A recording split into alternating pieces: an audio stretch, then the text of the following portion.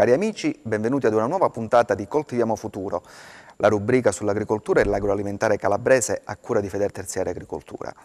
Bene, oggi affronteremo un tema in questo nostro speciale eh, che forse eh, nel corso delle varie puntate è stato sempre eh, un filo rosso che ha condotto le nostre, le nostre puntate, ovvero il valore eh, sociale della nostra agricoltura. Perché valore sociale? Valore sociale perché comunque l'agricoltura calabrese costituisce per la nostra economia uno dei settori trainanti e spesso per quanto eh, viene posto all'attenzione e dei media e comunque dei giornali in genere, eh, spesso viene bistrattato, eh, soprattutto in un periodo come questo che eh, ci vede soffrire a causa del Covid, è stato ed è uno di quei settori trainanti non solo per eh, quanto riguarda il fattore dell'occupazione, ma anche e soprattutto per quanto riguarda gli approvvigionamenti alimentari. È un settore che per quanto riguarda la Calabria produce delle eccellenze, eh, noi ci occupiamo di olivicoltura, quindi su tutte l'olio GP eh, di Calabria, ma eh, è importante soprattutto sottolineare quella che è eh, la caratteristica della nostra agricoltura calabrese, della nostra olivicoltura. E per approfondire questo tema è tornato a trovarci l'ingegnere Alfonso Ruffo, direttore del, tecnico dell'OP Associazione Olivicola Cosentina, e a questo proposito, volendo affrontare il tema dell'agricoltura sociale, analizziamo per un attimo a grandi linee quali sono le dimensioni della nostra agricoltura dottore Ruffo, più che altro in merito all'olivicoltura e eh, quindi per quanto riguarda l'organizzazione dell'azienda agricola e le estensioni tipiche delle, aziende, delle nostre aziende calabresi. Bene, eh, grazie sempre per l'invito e per la possibilità di intervenire in eh, trasmissioni come queste che sono, come diciamo insieme alla nostra organizzazione, una funzione a favore del territorio, a favore delle aziende e tra virgolette sono di formazione indiretta, perché noi intendiamo la formazione necessaria per, per le aziende la distinguiamo in diretta ed indiretta, diretta quella che facciamo in campo, indiretta quella che raccontiamo, raccontiamo quello che facciamo, soprattutto in campo e che viene poi dalla letteratura. L'argomento di oggi è estremamente, estremamente importante e bisogna rifletterci e rifletterci bene. Notevoli sono gli sforzi a favore dell'agricoltura, soprattutto con gli investimenti che propone la comunità europea, che recepisce poi il Ministero, che mette in atto la nostra regione assieme a tutti gli attori, che sono i, coloro che fanno soprattutto e vivono il territorio, che sono quindi le aziende agricole. Il valore sociale dell'agricoltura, dell bisogna partire da, da almeno cento anni addietro, quando effettivamente si viveva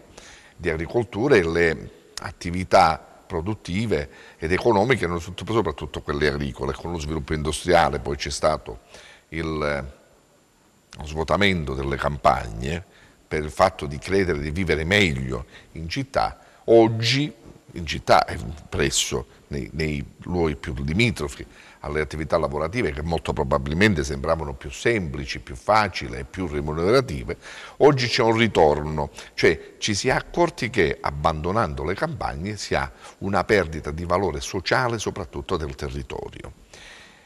Territorio che oggi è mantenuto soprattutto da chi fa e vive l'agricoltura, da chi fa e vive nel nostro settore l'olivicoltura. Ma fare vivere di olivicoltura o di agricoltura significa anche avere la possibilità di ricavare un reddito. Di fare eh, quello di che fare, forse ci, ci, dice il nostro legislatore, di diventare imprenditori agricoli. Di diventare imprenditori agricoli, ma diventare imprenditori agricoli significa avere la possibilità non solo di riuscire a dimostrare le ore lavorate in aziende, ma assieme alle ore lavorate di recuperare un reddito. Un reddito che deve essere, diciamo, decoroso affinché una famiglia possa vivere effettivamente di quello che produce. Ma se analizziamo le nostre aziende, ebbene, la molteplicità delle nostre aziende raggiunge sì, sì e no lettere e mezzo di estensione. Con le lettere e mezzo di estensione, con i tempi di oggi e con tutto quello che è necessario affinché si possa produrre, è molto difficile riuscire a vivere e a vivere in modo decoroso. Infatti ci sono tantissime aziende che non, non, non, è che le possa definire marginale, ma che sono di sostegno all'agricoltura stessa, meglio sono di sostegno al territorio, perché il non abbandono di queste piccole aziende significa il non abbandono e il degrado del territorio in sé. La spinta quale dovrebbe essere? La spinta verso una maggiore cooperazione, cioè fare in modo che le aziende stiano di più insieme e che insieme distribuiscono i costi di produzione e alla fine che insieme distribuiscono i ricavati dei costi di produzione, affinché queste stesse possano vivere in un modo migliore e decoroso, nel rispetto della natura e nella salvaguardia del territorio. Eh, a proposito di questo, noi prima parliamo di un valore medio che è quello della nostra provincia e un po' più alto quello regionale, però oh, proprio per il valore sociale dell'agricoltura, il valore sociale possiamo dire che si riversa su quello che è lo sviluppo dei diversi territori, nel senso che noi viviamo soprattutto in un territorio che orograficamente è pieno delle cosiddette zone rurali, ovvero zone a bassa concentrazione di popolazione su un territorio esteso, eh, che però hanno la necessità di garantire eh, a coloro che vivono questi territori quelli che sono i servizi pubblici essenziali da un lato, ma hanno soprattutto eh, l'onere di garantire quella che è la sicurezza e la salvaguardia ambientale di quei territori. Allora, come si può immaginare di intervenire per valorizzare quelle che sono le zone rurali? In agricoltura, ovviamente. come si può immaginare di intervenire? Beh, hai fatto bene a sottolineare il fatto che le aziende medie in Calabria hanno una superficie di circa 2 ettari, ma di quelle che sono censite, cioè di quelle che hanno un fascicolo iscritto presso un centro di assistenza e che sia la contezza di quello che l'azienda ha e che molto probabilmente ha la possibilità di produrre. Parliamo di un'agricoltura estremamente tipicizzata, la nostra infatti sono presenti diverse DOP in tutto il panorama produttivo, dalla zootecnia all'olivicoltura, alla trasformazione, eh, possiamo parlare della DOP crotonese per i formaggi, alla DOP dei salumi, alla DOP LGP per l'olio d'oliva, ma la nostra tipicizzazione è estremamente forte. Che cosa bisognerebbe, eh, bisognerebbe fare? Partendo sempre da un fatto, ebbene hai fatto a sottolinearlo che la difficoltà orografica della produzione nella nostra regione è estremamente marcata. Proprio questo ha fatto sì che c'è una grossa distinzione tra le piane che, come quella di Gioia Tauro, di Rosarno e la piana di Siberi e le aree più interne che sono quelle che si arrampicano sui nostri Appennini che sono fortemente vocate per esempio per l'agricoltura, per l'olivicoltura, per la castagnetocoltura, ma produrre in queste zone è estremamente difficile. Il tentativo è quello sempre di incentivare la cooperazione e la nostra attività, la nostra associazione si è fatta, la nostra media, la nostra OP si è fatta promotrice spesso di idee di intervento che possono essere quelle di raccogliere sotto la cappa, diciamo, il patrocinio della nostra, della nostra tutti i piccoli produttori, raggruppandoli in una grossa famiglia che può essere una grande intesa, idea di cooperazione, riuscendo a ridurre i costi e aumentare i benefici. Non è uno sforzo facile, meglio, è uno sforzo ingente, perché culturalmente ancora non siamo effettivamente pronto verso queste idee, ma se queste venissero anche incentivate da, da, dalla, dalla politica, molto probabilmente in un breve percorso di anni si riuscirebbe a realizzare una idea straordinaria che porterebbe grossi benefici a tutte le nostre attività produttive. Quindi il problema marginale che hanno in questo momento le piccole aziende è quello di avere un elevato costo per quanto riguarda la manutenzione e anche la produzione dei nostri prodotti agroalimentari eh, rispetto a quelli che sono i prezzi di mercato. E, e da questo punto di vista nel momento in cui ci si organizza uh, sotto l'egida di un'organizzazione di produttori, quindi sotto forma oppure attraverso le forme della cooperazione, si ha la possibilità dato quel prezzo di mercato, noi lo ribadiamo sempre, quello di dare l'opportunità di ridurre quelli che sono i costi della produzione, quindi di eh, avere una riduzione dei costi che può essere dedicata alla manodopera, la necessità di non acquistare in maniera diretta quelli che sono i mezzi di produzione o le attrezzature, ma usufruire insieme eh, di quelle che sono le dotazioni per un determinato territorio. E se noi pensiamo alle nostre aree rurali, se un primo passo può essere fatto con quello dell'aggregazione, però eh, qui c'era il riferimento prima all'intervento anche di eh, una linea di indirizzo politica, quello di recuperare quello che è un problema che ormai da 15 anni, quindi diciamo dalla, dalla vecchia programma, dalla PAC 2007-2013 si sta riscontrando su tutto il territorio calabrese che è quello della tematica dell'abbandono dei terreni. Noi lo vediamo ogni anno per quanto riguarda alcuni periodi, eh, l'avvio del periodo invernale o eh, l'approssimarsi eh, della fine della primavera dove eh, o, o, vi sono problemi di dissesto idrogeologico o vi sono eh, problemi legati anche alle alluvioni o altro che eh, non sono principalmente o solo dovuti ai cambiamenti climatici ma sono soprattutto dovuti al problema dei terreni abbandonati, cioè eh, terreni in cui eh, i, produttori non riescono più, appunto per il problema e dei costi e eh, anche dell'innalzamento dell'età anagrafica eh, dei nostri produttori storici, a sostenere quelle che sono le pratiche agronomiche classiche che eh, si facevano già, eh, non, non, magari non nel secolo scorso, ma già 50 anni fa, ma che consentivano a, a quei terreni di non provocare danni eh, e all'ambiente e comunque al, ai terreni limitrofi. E su questo problema dei terreni abbandonati come si potrebbe intervenire? Beh, sempre facendo riferimento al panorama delle, delle nostre aziende, facendo riferimento alla nostra cultura, al nostro modo di intendere di vivere l'agricoltura, la, come si può intervenire? Beh, si dovrebbe intervenire con la possibilità di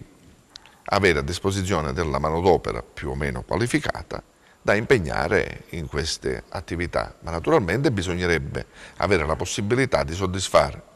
le esigenze economiche di questa manodopera. Parliamo sempre di un fatto, che la riduzione dei costi di produzione non devo, molto spesso viene vista come una riduzione del costo della manodopera. Non dobbiamo tendere a questo, la eccessiva, meglio, secondo la, il mio modestissimo modo di vedere le cose, la eccessiva meccanizzazione delle cose non è sicuramente un beneficio. Può essere un, bene, un totale e completo beneficio, è necessario, ma per come vedo le cose non è una necessità, non è un, un non bene, è un, un bene per, per, la sociale, per, dal punto di vista sociale, perché incentivare e spingere sulla meccanizzazione significa ridurre forze che lavorano in agricoltura, quindi ridurre il numero degli addetti, ridurre socialmente una, la possibilità di vivere di agricoltura a molte famiglie. Naturalmente di contro c'è un altro fatto, che la manodopera deve essere incentivata e pagata per il giusto, secondo le qualifiche e le capacità della stessa. Secondo il mio modestissimo modo di vedere è necessario un intervento anche dal punto di vista politico e soprattutto capire un, da parte degli imprenditori un fatto importante, che gli aiuti comunitari recepiti, come dicevo prima, dal Ministero e digeriti e poi messi in atto tramite l'attività regionale non sono da vedere come un mero contributo all'azienda, ma sono da intendere come investimenti. Investimento non fatto a favore solo ed esclusivamente dell'imprenditore, non indirizzato solo ed esclusivamente all'imprenditore, ma all'imprenditore che prese coscienza delle cose ha a fianco a sé un socio che non chiede nulla, che in questo caso eh, la Regione Calabria o altre regioni d'Italia o il Ministero stesso, ma che chiede solo una cosa, incentivare le forze lavoro. L'arricchimento non deve essere solo dell'imprenditore, l'eventuale diciamo, arricchimento non deve essere solo dell'imprenditore, ma sfor lo sforzo imprenditoriale deve essere quello che tutte le persone, tutto la, la, lo Stato sociale che vive intorno alle aziende cresca sia culturalmente che economicamente. Se riusciamo in questo, sicuramente avremo la possibilità di andare nei supermercati e di comprare un prodotto, per esempio l'oro d'oliva, non più a 3,99 euro, ma a 6,99 euro. E non ci staremo qui a chiedere il perché c'è questa grossa differenza di, di, di, prezzo di vendita per un prodotto che costa tanto per, per produrlo. Eh, qui entriamo nell'ambito della qualità, ma eh, giusto una parentesi prima di affrontare questa tematica che valorizza quella che è la nostra agricoltura. Eh, prima si parlava anche, eh, lo sottolineava, per quanto riguarda eh, il discorso dell'incentivo che viene dato, l'incentivo pubblico. Bene, oggi questo incentivo pubblico, anche attraverso eh, le linee di indirizzo oh, comunitarie, viene dato anche nell'ambito di stimolare l'occupazione attraverso la formazione dei lavoratori, perché soprattutto quando si parla di processi, o quando oggi si parla di processi di meccanizzazione in agricoltura, si parla più che di sostituzione della, uh, della macchina, uh, più che dell'uomo con la macchina, si parla soprattutto di utilizzo di nuove pratiche agronomiche, proprio per eh, mitigare quelli che sono i problemi del cambiamento climatico, ma anche e soprattutto di utilizzare dei nuovi macchinari che eh, consentono un miglioramento della qualità delle produzioni. E quindi da questo punto di vista l'intervento sulla formazione e quindi sulla formazione di coloro che lavorano in queste aziende diventa molto importante e questo oggi attraverso e i bandi ministeriali, pensiamo ai bandi sul miglioramento qualità, ma pensiamo anche alla dotazione che viene data per quanto riguarda i progetti di filiera, viene incentivato e quindi può essere uno stimolo per l'imprenditore agricolo ad accedere a questi fondi, non solo per meccanizzare l'azienda, ma anche per formare quella che è la propria forza lavoro su cui oggi si ha anche difficoltà a trovare forza lavoro formata per determinati processi produttivi e quindi essere da stimolo per amalgamare quella che è l'incentivo diciamo, sociale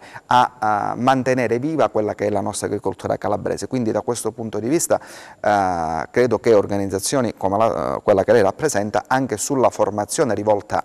alle aziende che fanno parte dell'OP è, è molto presente. Sì, infatti in seno al programma che mettiamo in atto a valere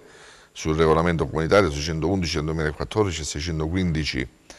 del 2014 modificazioni per la prima annualità che è questa in corso 2021-2022 abbiamo previsto delle giornate formative in campo dove facciamo vedere l'utilizzo delle macchine, dove facciamo vedere la migliore attività che può essere quella come la potatura e come eh, come e quando vanno ad essere utilizzate le macchine in funzione allo sviluppo fenologico e vegetativo della pianta. E spesso troviamo delle reticenze da parte dei, dei produttori perché il fatto di essere convinti che il mio modo di fare, il mio prodotto è il migliore degli altri è ancora vivo, radicato, radicato individualismo calabrese il nostro radicato. individualismo, però ed è importante una cosa, che noi non diciamo che vogliamo assolutamente formare e quindi cambiare il modo di pensare, nel modo più assoluto, ma vogliamo suscitare delle forti curiosità in relazione a quello che si mette in atto oggi e a quello che si potrebbe mettere in atto domani con l'utilizzo di una macchina.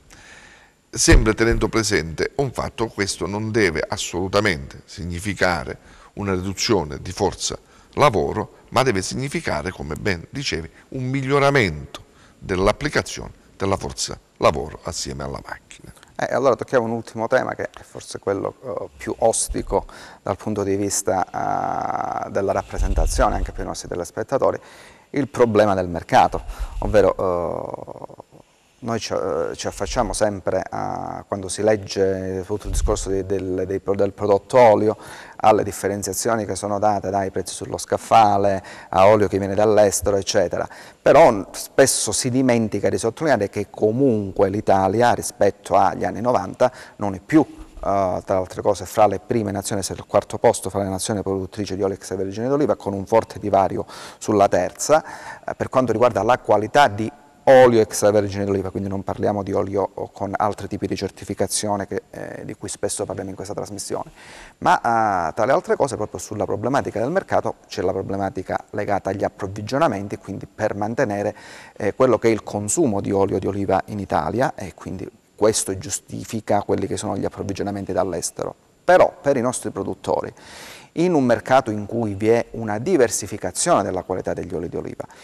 come si può puntare ancora sull'olivicoltura per far sì che l'olivicoltura costituisca un reddito per le nostre aziende. Certamente non possiamo pensare, al di là di come abbiamo già sottolineato nel corso del, dei precedenti incontri che abbiamo avuto con lei, il discorso di fare un'olivicoltura di tipo tradizionale, cioè come si faceva uh, eh, 50 anni fa dal punto di vista della qualità, attenzione, intendo tradizionale dal punto di vista della qualità, ma uh, come incentivare quelle che sono le, le, le eh, produzioni di qualità in olivicoltura e far intendere ai consumatori e anche ai nostri imprenditori perché il discorso sulla qualità può essere la via d'uscita per garantire un equo reddito alle nostre aziende. Beh, sicuramente eh, eh l'area la, calabrese è estremamente vocato alla produzione del, dell'oro di oliva, eh, sia orograficamente, nonostante le colline, che sono in buona parte coperte da, dalla pianta dell'olivo alla quale siamo legati in modo ancestrale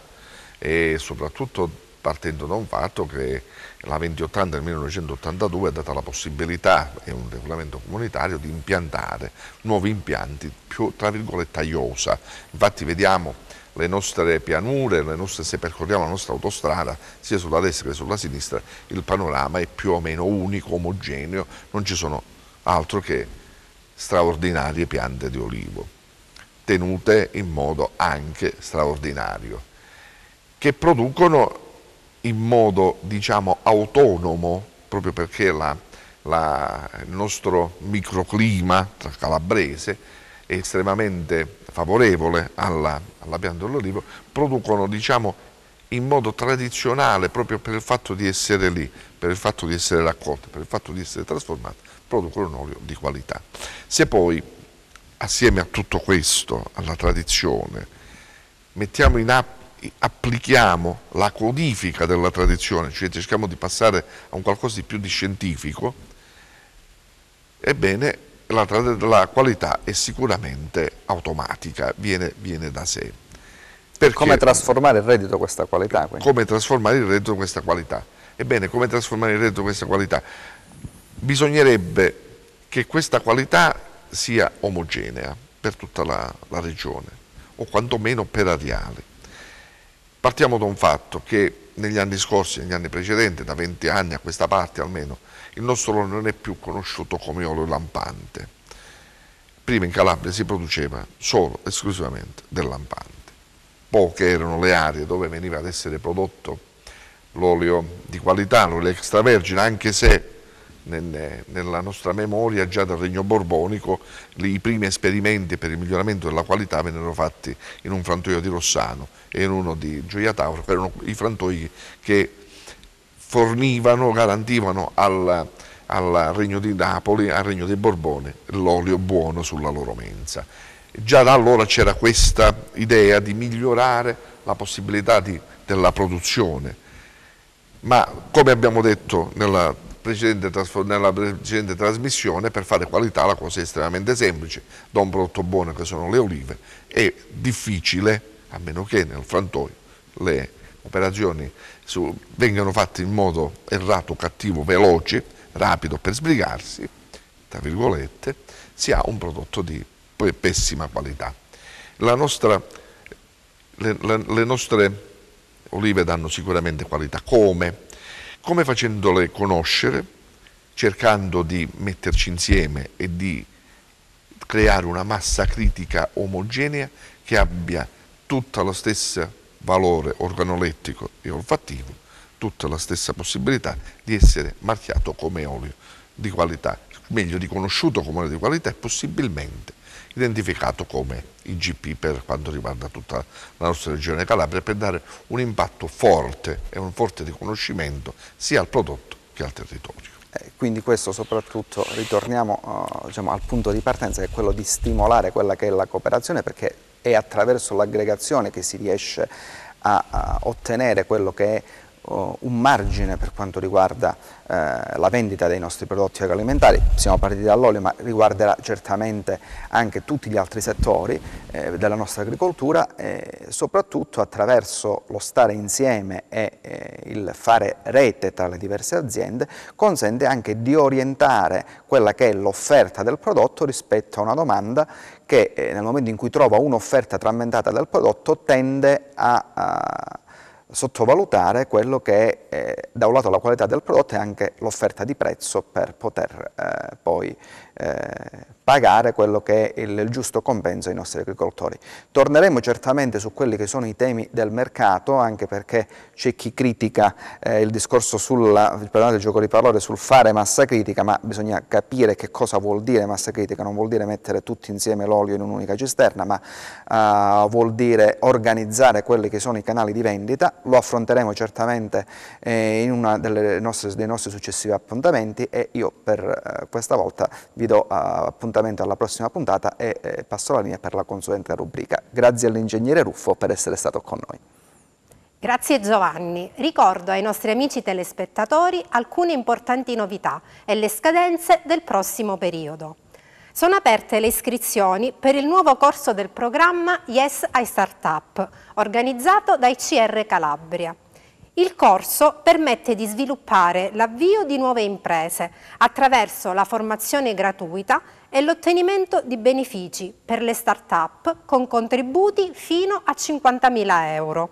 Se sei un giovane o un professionista di età compresa tra i 18 e i 35 anni, richiedi informazioni ai contatti in sovraimpressione per poter partecipare ai prossimi corsi.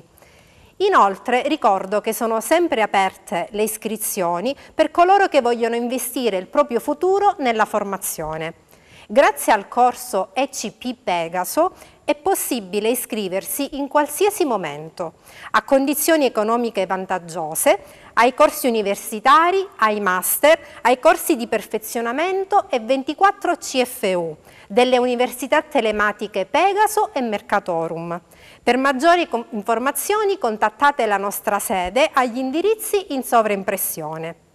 Per tutte le aziende agricole che vogliono investire nell'ammodernamento e nel miglioramento delle qualità delle produzioni olivicole, stiamo elaborando l'accesso a misure di filiera che consentono, attraverso lo strumento dei contratti di filiera, di ottenere un contributo per la realizzazione dei vostri investimenti con tempi rapidi e certi. Per maggiori informazioni vi invito sempre a contattarci ai numeri in sovrimpressione.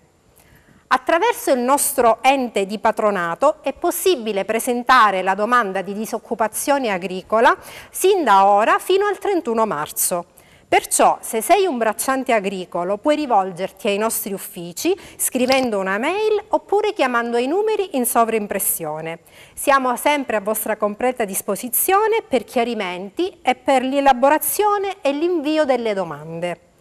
Ricordo infine, per l'invio e la predisposizione del nuovo assegno unico, che da marzo sostituirà l'assegno nucleo familiare e altre prestazioni a sostegno del reddito, che i nostri uffici sono pronti a fornirvi tutte le informazioni utili.